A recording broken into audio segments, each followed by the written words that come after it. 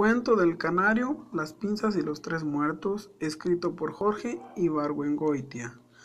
Jorge narra que su casa estaba rodeada de terrenos selváticos y se había convertido en basurero, refugio de mendigos y urgías.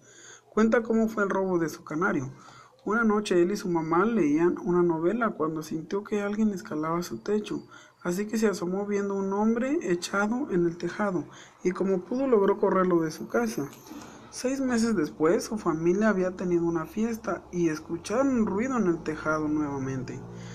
Cuando fueron a investigar, alguien se había llevado algo de su ropa. Tres días después, su madre, estando sola, volvió a oír pasos en la azotea. Se asomó al patio y cuando regresó, un hombre estaba revisando su cajón. Su mamá lo corrió como pudo. Seis meses después, se encontraron nuevamente él y su madre leyendo una novela.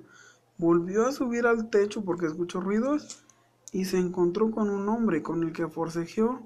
Pensaba arrojarlo al patio, pero pensó que se rompería una pierna. De pronto el hombre de un brinco al patio pudo huir. En el siguiente robo, Jorge ya estaba preparado con una pistola. Un día estaba en la cocina tomando daiquiris cuando se vio un gancho descolgado de la jaula del canario de su tía.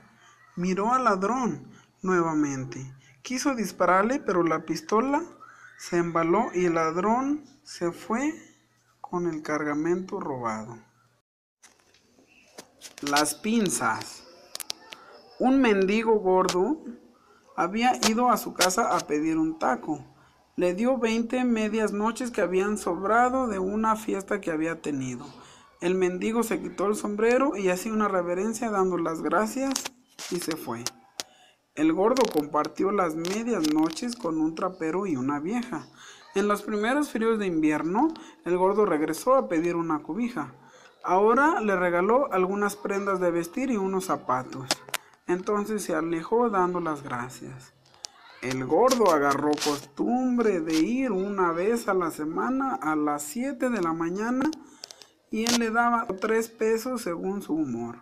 Un día el gordo le llevó de regalo unas pinzas que se había robado de una obra que estaba cerca y le dio cinco pesos. Y así constantemente ocurría lo mismo y comenzó a pedirle dinero prestado y nunca se lo pagaba, así que decidió no volver a prestarle.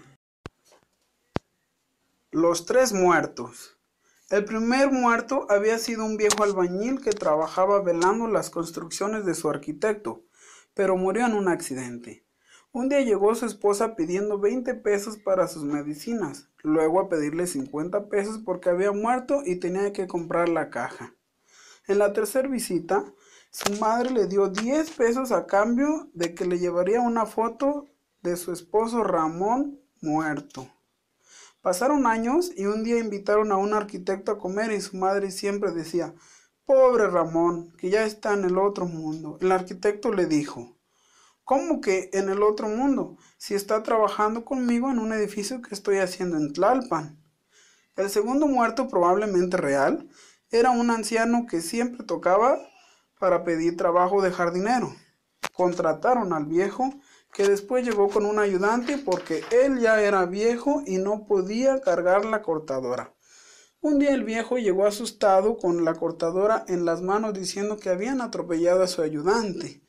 Él ya estaba viejo, así que se retiró de jardinero y se dedicó a comerciar con plantas. El tercero fue ficticio. Zamora, quien era un plomero y electricista muy hábil pero muy carero, un día llegó un joven pidiendo 50 pesos prestados o regalados de parte de Zamora porque le habían atropellado a un hijo. Un día hubo un desperfecto en la casa y llamaron a Zamora. Cuando llegó le preguntaron por su hijo atropellado. Zamora no sabía de qué hablaba y la madre le explicó sobre los 50 pesos. Él comentó, ¡qué infamia! ¿Cómo hay gente sin vergüenza?